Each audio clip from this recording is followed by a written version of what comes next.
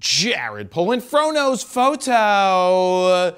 Dot com, and this is your King in the castle, king in the castle. photo news fix.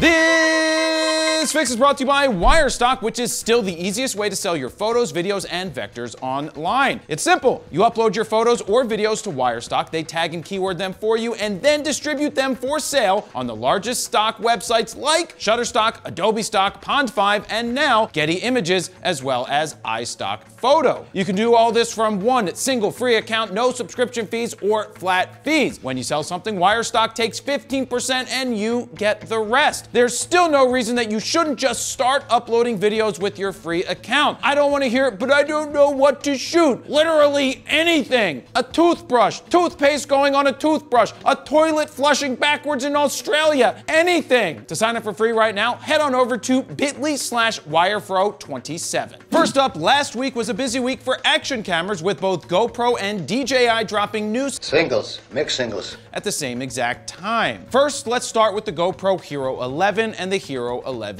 Mini. Yep, there's a Mini, but more on that in just a second. The GoPro Hero 11 sports a brand new 27 megapixel sensor that is capable of shooting 5.3K video at 60 frames per second, now with 10-bit recording. GoPro says that the 10-bit recording allows you to capture billion. colors. The new sensor comes with a new aspect ratio of 8:7 for video, which allows for cropped vertical videos for stupid TikTok dance videos like this.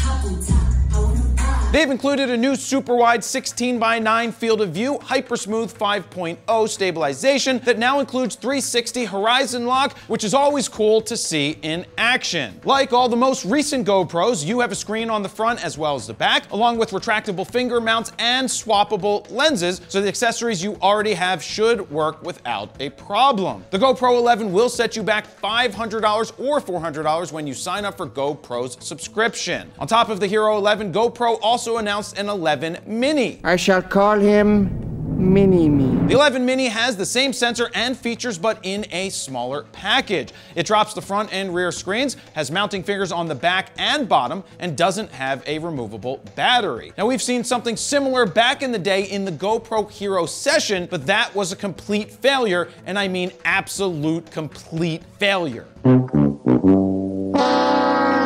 I'm personally not a fan of not being able to swap out batteries or not having a screen for framing. But I'm sure that there's plenty of creators who will grab one for 400 bucks or less when you get a GoPro subscription. And now onto DJI's action camera. This time around, it's called the DJI Osmo Action 3, a GoPro clone that uses a different size and shape sensor than the Hero 11. The Action 3's claim to fame is it shoots 4K 120 frames per second with rock steady 3.0, not to be confused with Rocksteady. there's also an all-new extreme battery that DJI says can record for a whopping 160 minutes if you're shooting in 1080 without stabilization on, which is probably not how you will shoot this camera. Now they do have a quick charging option via USB-C where you can get back to 80% in just 18 minutes of charging, which is actually pretty cool. The Osmo 3 features front and rear screens, magnetic accessory mount, and their ability to be waterproof down to 16 meters without needing an extra housing. Now, I've personally not used one of DJI's action cameras, but you can see it's squarely aimed at taking on the GoPro, especially being that it's priced to sell at only 329 bucks, and you don't need a GoPro subscription to get a discount. The biggest question is this, will people still pay more for a GoPro or give the Osmo a shot? Now, we're gonna dive deeper into this story and much more on the next Raw Talk podcast that comes out on Friday. New episodes come out every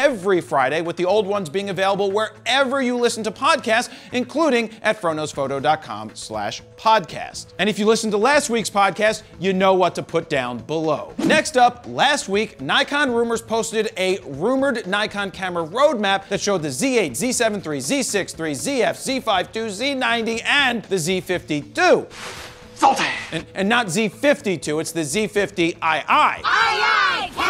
Aye, aye, Captain! Well, this week, Nikon Rumors has confirmed that the roadmap is not real. Maybe it felt so real because I wanted it to be. And I quote, the person who originally created the roadmap just contacted me to clarify that he kept that document going for years as a summary of Nikon cameras and that it's from a forum thread dated back to 2009. Nikon Rumors wanted you to know that today we still have websites racing to be the first to report the leaked Nikon Z roadmap. Now, I love how these rumor sites get all butthurt. I, I could say butt hurt still, right? Right? Well, anyway, let me check Google for the definition. And the definition is it's used to draw attention to a person who shows signs of being irritated due to a perceived insult, an unfavorable situation, or lack of decent communication. The term butt hurt originated from spanking, the act of striking the buttocks of another person, which is often seen as a method of punishing a child. I always thought it meant something else, but glad to finally know it means beating someone's ass. I only came here to do two things, man. It's like we're almost out of beer. Anyway, I love how Nikon Rumors gets all upset that other sites are stealing their reporting as if the leaked or stolen information that they're stealing is somehow better. Whatever, we'll talk more about this on the podcast as well. And finally, in some real news from Nikon, Nikon has announced the Z17 to 28 millimeter 2.8, the latest addition to the growing selection of extremely capable and very affordable f2.8 lenses. First off, very affordable is